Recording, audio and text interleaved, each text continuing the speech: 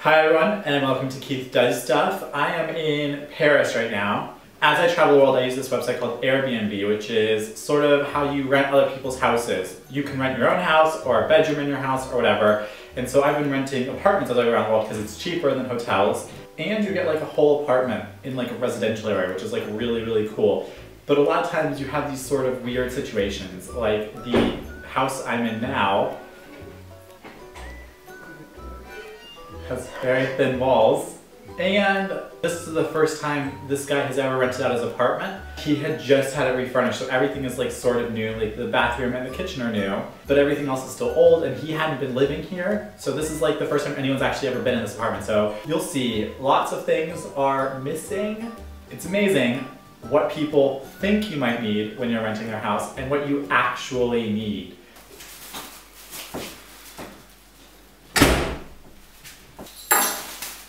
All right, I don't know what all the restaurants are, so I got my tortellini for fromage. Have that later.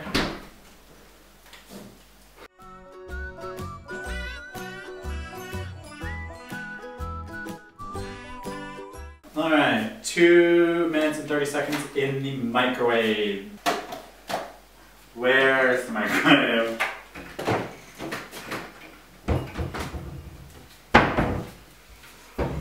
To be a microwave. You can't have a house without a microwave.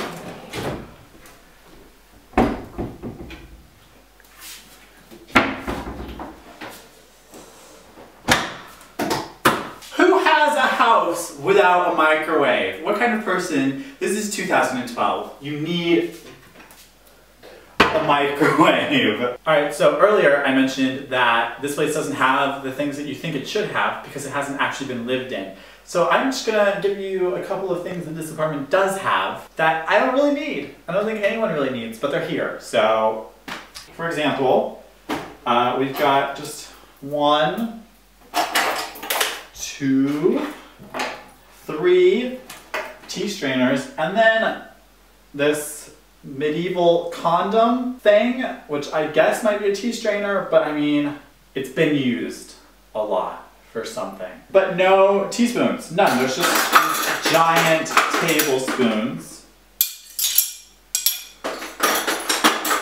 Where the hell this thing is. And this. For all your needing to look through a hole in a utensil kitchening. Alright, so I'm going out for a night on the town. I'm going to the Moulin Rouge, so I'm going to take a shower to get uh, all clean and stuff.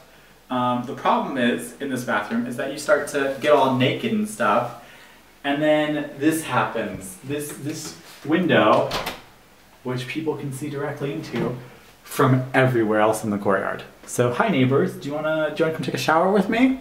I don't want you to. It's not what I want. And the final stop on our tour is the medieval bathroom. If you will join me, it's very tiny, but my favorite thing is to flush. You pull this string, and it all goes on there. Maybe this is where you come to put on that medieval condom thing that we found earlier in the kitchen. I don't know. At least the bed is comfortable though, and that really is all that matters. Good night. All right, so thank you for watching, and I will see you maybe soon. Also, I don't know how many of you are European watchers, but I'm going to be in Germany next month for RingCon, which is on October 5th to the 8th or something like that. So if you're gonna be there, let me know in the comments, hit me up on Twitter or whatever, and we can hang out or see each other or whatever, let me know. So see you there. If you're not gonna be there, I won't see you there. Bye.